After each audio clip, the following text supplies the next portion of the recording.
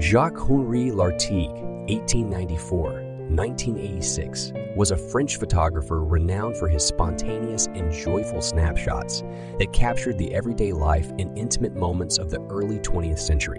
He began photographing at a young age, documenting his family, friends, and societal events of the time. His black and white as well as color photographs are notable for their aesthetic sense and ability to capture the decisive moment.